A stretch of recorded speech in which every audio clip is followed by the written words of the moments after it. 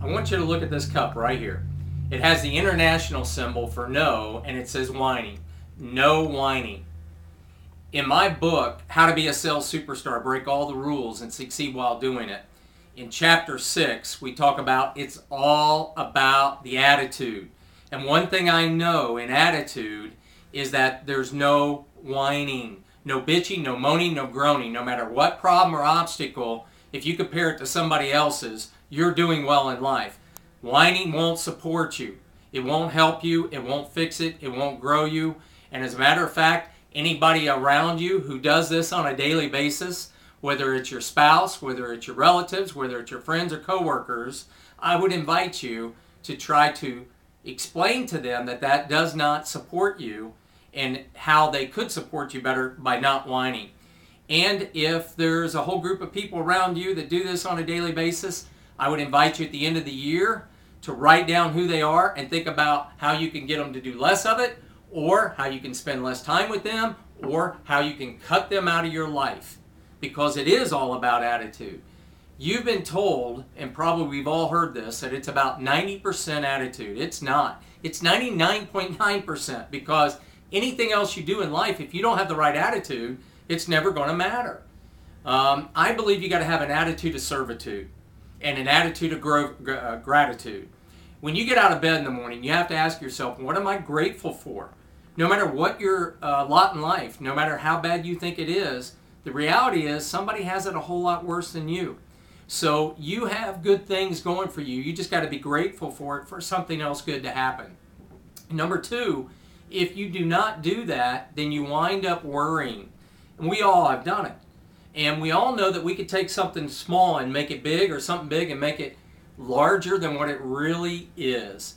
And there's a phrase about worry that says that worry is paying interest on a debt not yet due. And I would invite you to get that out of your life and to start off with something positive if you if you can in your day, whether it's reading, whether it's a quote, whether it's something that will drive you in the right area.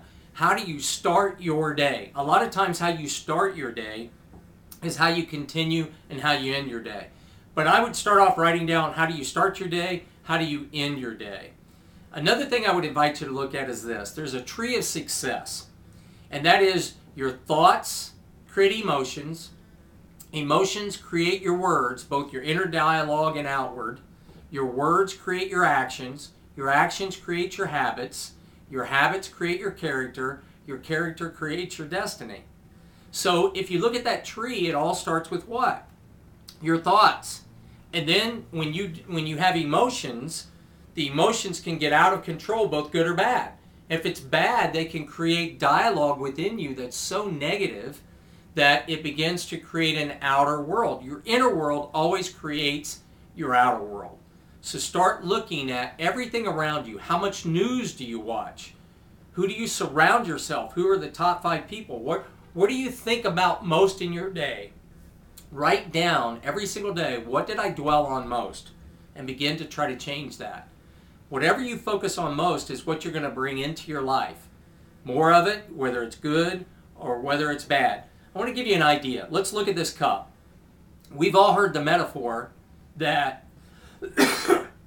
we've all heard the metaphor that if you have a cup, that if you're a positive thinker, that it's half full. And you've heard the metaphor, it could be half empty. Well, I don't think either one of those are true. I think it's all perspective of attitude. You see, this cup is always completely full. Why? Because if you got half water, it's got to be the other half is filled with air. It's a matter of perspective. And you say, well, that's silly. It's not silly because every single thing that you look at in your life is a matter of perspective, just like that cup being half full or half empty. Take a step back and think about what am I going to do today to attack everything with the right positive mental attitude. And it's not trite, it's not fluff, it's not motivational, it's a fact. People who do well in life tend to focus on the positive or what they can do rather than what they can't do. And I invite you to start looking at your life in that way. And one of the things I think will help you, I'm the author of this book, How to Be a Sales Superstar, Break All the Rules, and Succeed While Doing It. And if you go to this website, if you go to superstarbookvideo.com, you can get the first chapter for free. You can get a bunch of free bonuses, and I think it will help you greatly in not only gaining and maintaining a superstar attitude, but doing everything you want your life to succeed and get the results that you want. I'm Mark Tewart, and here's to you having a superstar attitude.